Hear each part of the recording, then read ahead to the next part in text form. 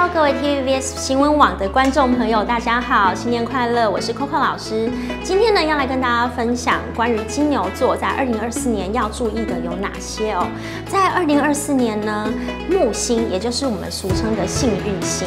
啊，进驻在金牛座的正财宫位，所谓正财呢，就是包括像我们的工作啊、公司收入的这个部分。所以呢，二零二四上半呢，金牛会觉得是一个民生啊、收入颇丰的一个的一年的这个感觉哦。但是金牛座的朋友，你千万要、千万、千万要注意，因为呢，有时候会不小心得意忘形了。在你顺风顺水的时候呢，你要尽量低调一点点，然后呢，这样子。呃，因为因为今年呢，其实金牛是有一点点，也是有一点点犯小人的部分，所以当你太得意、太高调的时候，别人就会很容易在你背后说三道四的，讲东讲西的，而且呢，你的一些些小错处就会容易被放大。所以呢，如果你觉得你有被呃什么同事陷害啊，背后讲什么，你在你呃心里觉得说这些人怎么这样对我的同时呢，你也去反省一下，说，哎，我是不是有一点，有时候有点太高调、太得意忘形了？